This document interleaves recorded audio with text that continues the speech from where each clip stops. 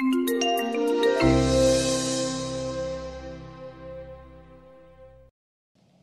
And so we're really just going to jump right into this. Um, and so I have questions for each of you. We're also going to have time for audience questions. So at that time, if um, you guys could line up at the mics, and then we'll kind of go back and forth until time runs out. So if that's okay. Um, the first question is for Matt. So just kind of ground us in this story. Like, how did you become interested in the project, um, and why did you decide to tell this story? Um, well, uh, StoryCorps, the oral history project um, that you may have heard of, they uh, have recording booths around the country, and people do long form conversations that are archived at the Library of Congress. Um, and that are also used to create uh, radio pieces on NPR. So they had approached me because they had a queer history initiative, um, and they asked if I could help them find interesting stories. And I had heard of the phenomena of intergenerational gay adoption um, in a pre marriage era and was interested in finding stories related to it. Um, and so at the time, I was working with a producer uh, who is Walter's niece, Erica Naegle.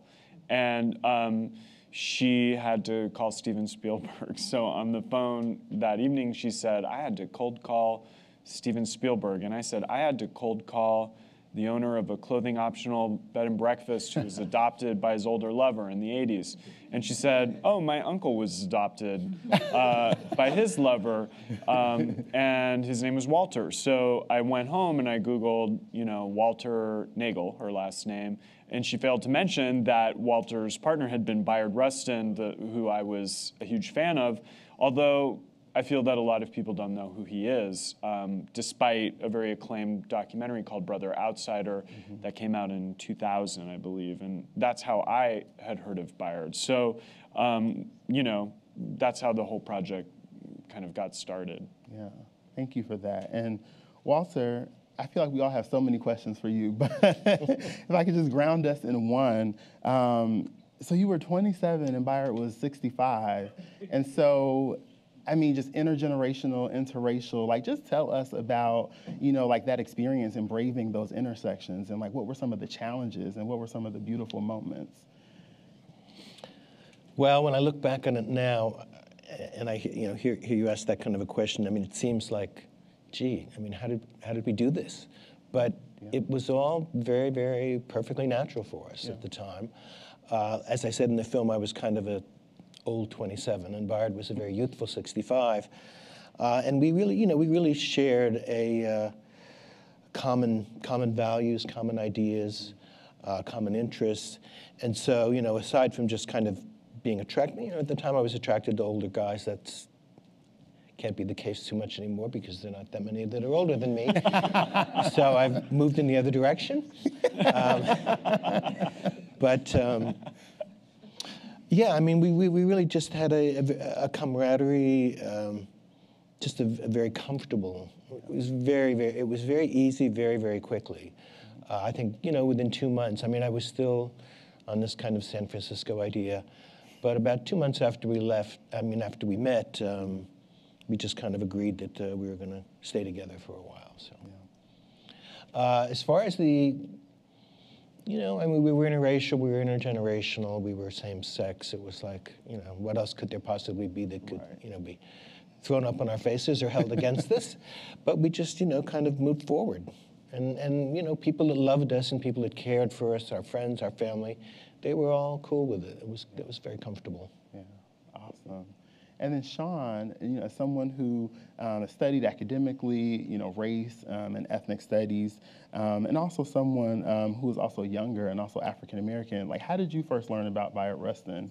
Um, and you know, what were your thoughts kind of before the film, and then like, how has the film informed, you know, how you think about him and how you think about his legacy? Yeah, yeah. So I'm gonna try to get through each question here. Um, but I arrived at Bayard Rustin when I was in college. Um, I, you know, I consider myself a very good student of history prior to college, but I noticed in our history books, Bayard Rustin was purposely left out. Um, and, you know, given what we know about U.S. history and how it's taught to K through 12, Um, we know that black history in general generally has a very small uh, portion uh, located in those history books. So it makes sense why Bayard would be left out as a marginalized person uh, being queer. Um, but having arrived at him in college, um, as I was coming into my own sexual identity as a black gay man, um, I took hold to Bayard um, in a way that a lot of my peers did not. I really wanted to research him and study him and learn a little bit more about his life, just so that I can see how things have changed since he um, kind of lived his life, kind of came into his own sexuality, lived within the movement as well, um, and see, you know, kind of how that can um, kind of put some kind of focus on what I'm doing, where I locate myself within the black queer community today in the 21st century. Um, so watching the documentary was very eye-opening for me. Um, I had previously known that, you know, Bayard Rustin had been in a long-term partnership with someone who was white, um, having had been a very, uh, you know, distinguished person within the civil rights movement. Um, so I, I took very um, serious interest in this because um, I considered it a very hot button issue for a lot of people. People would consider that to be um, kind of taboo, as you mentioned in, in the documentary. Um, so, you know, seeing the, the documentary really put into perspective how his, um, how his Quaker upbringing really helped him uh, come to terms with some of the decisions he's made, especially when it came to his personal life as well. Um, so just seeing how those things kind of overlapped, um, how his personal politics um, kind of channeled into his um, his love life um, as well. Um, I think it was cool to see those those layers there. Yeah, yeah. No, thank you. And I love how there are like three distinct kind of different views and perspectives um, on Bayard, and that's what really we're really looking to kind of show here. And um, this is a question for all of you. And so, Matt, I was reading an article um, that you were quoted in, and you talked about Bayard's creative resistance. Um, so if you can talk a little bit more about that, um, and then the so if you can talk about that, and then the question for all of us um, is, what type of creative resistance do you think is needed now? We're in very, very interesting times, you know, on, on multiple levels. Um, so just using this idea of creative resistance, like what do you think we can extract from that for today? Um, something I was thinking about while making the film is this continuum of things that uh, seem radical at one time and that become kind of more mainstream or accepted later. So uh, intergenerational adoption, I'm sure to most people seemed like a radical step to obtain equal rights. Um, but now gay marriage um, is part of the mainstream. So I think that's a kind of helpful framework to look at um, creative resistance now um, in terms of uh, conceptualizing things that uh, break rules or reimagine what rules could be. Uh, with the knowledge through history that that rule breaking um, sometimes becomes absorbed into the culture as something mainstream. Bayard's, Bayard's resistance was based on nonviolence mm-hmm. and on his Quaker upbringing. Mm-hmm. And the whole idea about nonviolence, it's really based on love. And so, you know, you go into the creative phase of resisting with the idea of eventually building community. I mean, the community is fractured and you're trying to heal it in some way. And so that kind of means that you're not going to be screaming in somebody's face or calling them a pig or calling them you know, a racist comment or something like that. You're going to try and bridge the gap that already exists. Okay. And so that was kind of really the framework that Bayard had to operate in. And so he had to come up with really, you know, creative, uh, creative demonstrations, creative marches, ideas that were really uniting people as opposed to just broadening, broadening the gap. And I think there exists such a gap now, it, there seems to, in, in the society that we have, that we need those kinds of creative thinkers and creative resistors more than ever. Yeah. When I think about creative resistance, um, I always come back to what we're doing within our own communities to resist forces that might tear us intra, in the intra-community away from each other. Um, when I think about intersectionality, about being black and queer um, specifically, and given the challenges that we're up against socially and given the current political um, environment that we find ourselves in, I think it's more important than ever that we have serious conversations in our community about um, what we're doing to marginalize others who look like us, who come from the same backgrounds as us. I think it starts at home for a lot of us in terms of having those serious conversations before we talk about um, you know, extending the hand over to other communities. Not saying that they should happen separate from each other, um, or shouldn't they should one should happen before the other, but saying that you know we should be resisting um, creatively and strategically different ideas that would pull us apart from one another, um, specifically within the black community or specifically within, within the queer community. And a lot of people actually find the queer community to be very isolationist in and of itself, and very white and very male in and of itself. Um, we obviously know that's not true, right? So we have a lot to do internally as well um, in terms of rectifying uh, things that have been done um, in the past that have been wrong and that have marginalized people within our communities. So basically resisting um, those internal forces that can yeah. disrupt that. Thank you. No, I think as I reflect on um, Bayard in this film, I'm struck by the fact that it just took me so long to learn about him. Like, I think that I was in college um, when I found out about him. Um, and identifying as a black queer man myself, it was just so comforting to know that his presence was there, you know, his legacy is all throughout the civil rights movement and still lives on today. Um, but he is like still largely unknown in a lot of spaces. So kind of before we go to audience questions, Walter, I would love for you to kind of tell us like, what's one thing that, that we, we wouldn't know about Bayard and that we wouldn't get from the documentary? Oh, that's interesting. Um, because I think this, this documentary kind of complements Brother Outsider mm-hmm. a great deal. Because in Brother Outsider, you see Bayard debating Malcolm X, you see Bayard at podiums talking and pointing his finger and, you know, very militant. And, yeah. you know, I think this, this, this one kind of shows a softer side of him. Yeah. Um, I think probably, you know, the fact that he was so human, he was so gentle, he was uh, very approachable. Mm-hmm. I mean, he was not somebody, I mean, even though he had achieved a certain, I guess you could say, rank or position in the civil rights movement, yeah. you know, that really didn't happen until after the March on Washington in 1963.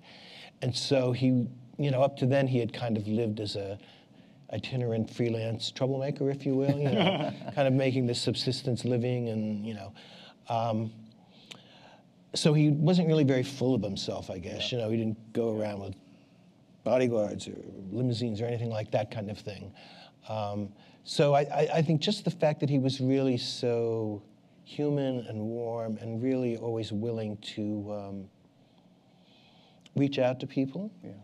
uh, especially young people. I mean, Bayard was one of the leaders who was really known to, it was an inspiration and because of his radical politics, especially in his younger years, young people kind of gravitated to him because younger people tend to be more radical. So when Stokely Carmichael was coming up, uh, people like that, they, they really went to Bayard as opposed to going to Roy Wilkins or Whitney Young. Yeah.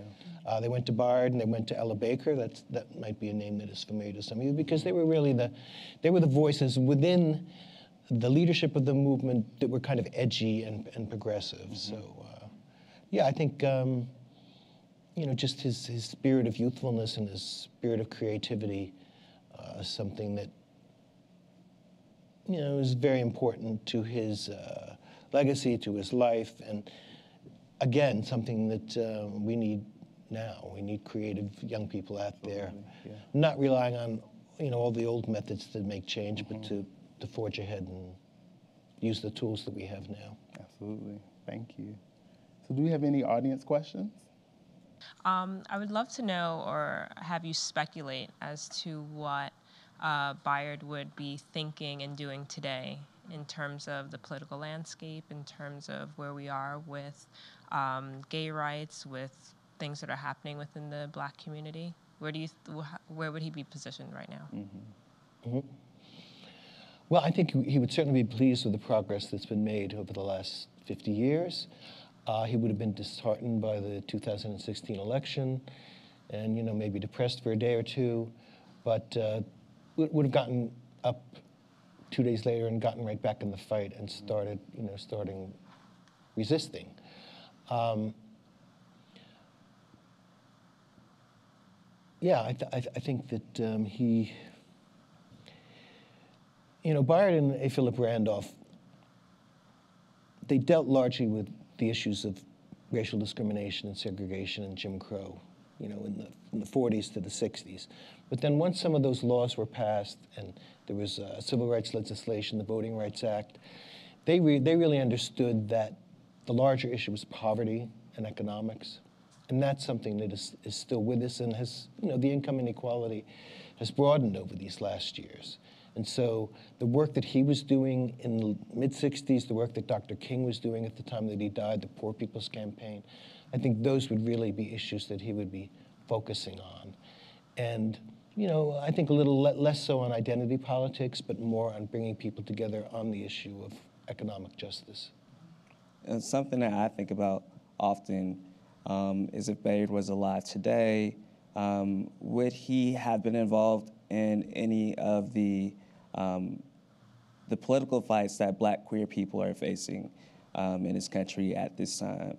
Um, you know, as I've done research about Bayard, I've found very little of him, you know, engaging with Black queer people of his generation. Um, and that's been something that has always been like a gray area for me. Like I'm just like, hey, I'm sure he's probably done work, and he's probably he probably knows tons of people um, within the Black queer community.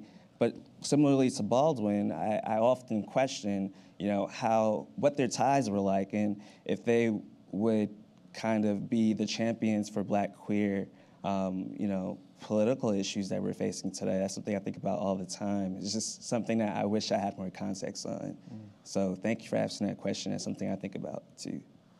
Hey y'all, uh, my name is Raheem. Um, so my question uh, is, so how do you think, um, like, kind of just like having like an interracial relationship is different back then than it is today? And kind of going off a little bit more of that, is that would that be considered like, you know, like empowerment within like the black community, or is that like kind of discouraged or frowned upon today outside of your race and going against the cause of like black empowerment? this is often something I think about as well.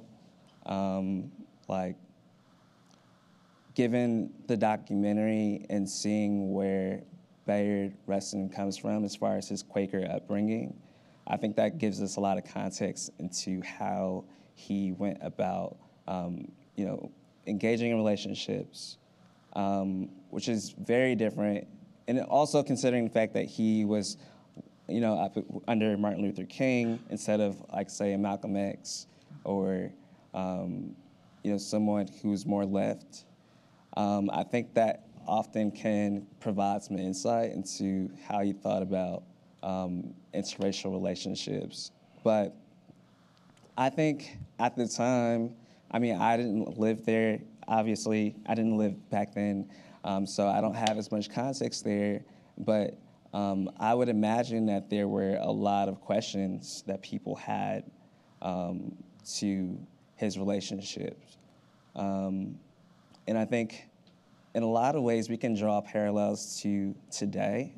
I think interracial relationships are obviously less taboo than they were, um, you know, 50 years ago.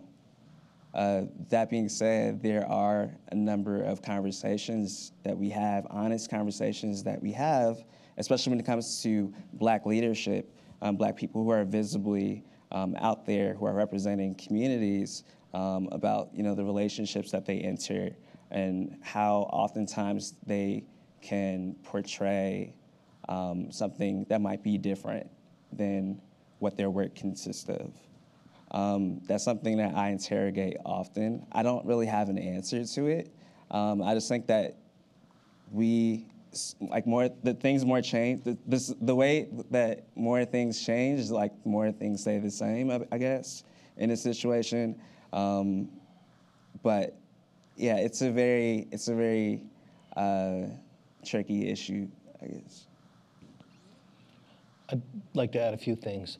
I, I think you really have to look at the whole context in which we were living. Um, first of all, there have always been people who have been against interracial relationships. There always were, and there still are, and there probably always will be. Um, as, there wasn't a gay movement. I mean, during, during the time that I met Bayard, there was. But in the time that he was maturing, there was not really much of a gay movement to speak of. There were a few organizations, but uh, you know they weren't very high profile, high visibility.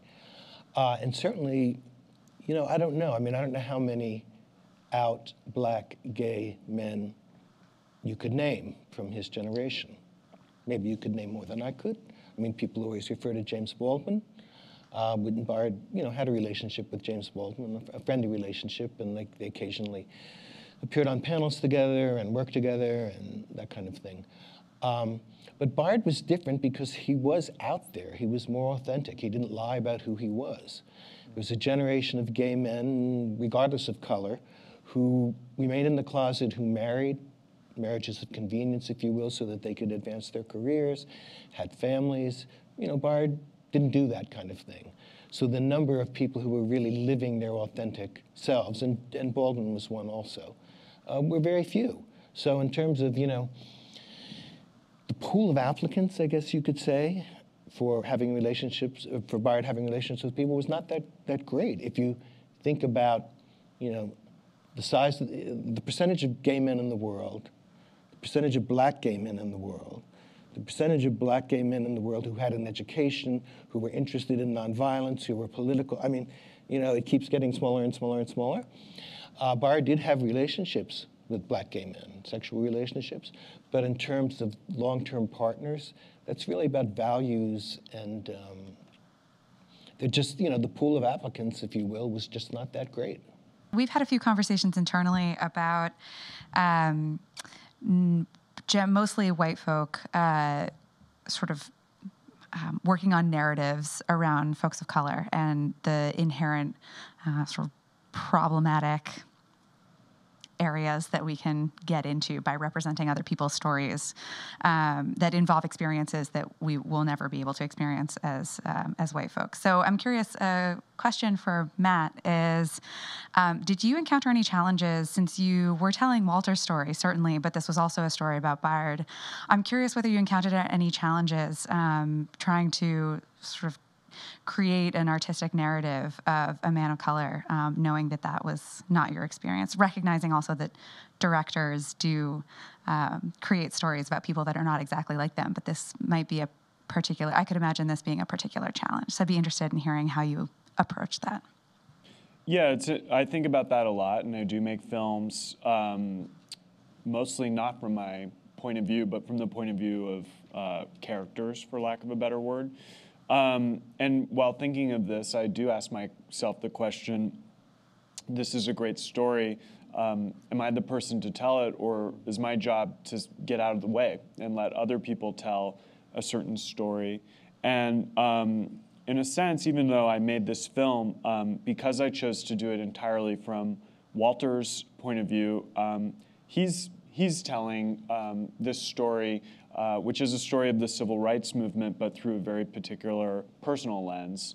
Um, and Walter's been such an um, amazing ambassador for Bayard's legacy, and that's part of the reason I didn't feel like um, the film needed additional points of view to historicize Bayard. So, um, yeah, I mean, I think there's been recent films, like a film about Marsha P. Johnson, where um, these issues have really come to the fore um, about you know, uh, authorship and um, kind of, uh, I guess, as white people, getting out of the way sometimes instead of talking and listening more. So, um, you know, it's sometimes a limitation to my my ability as a filmmaker, and I think about that. Rustin was like totally inspirational for me in college as well.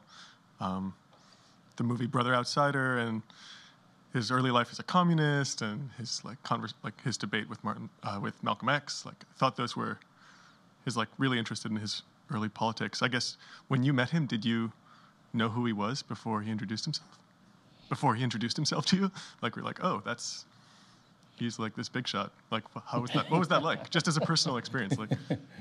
Well, it was a when I at the moment that I met him, I wasn't sure. I knew who I had known who Bayard Rustin was. Mm-hmm But Bayard was noted for carrying a walking stick, cane. Well, it's only a cane if you need it. He didn't need it. It was a, wa- it was a walking stick, um, a style, you know, a, a style uh, accessory. So um, he didn't have it with him that afternoon.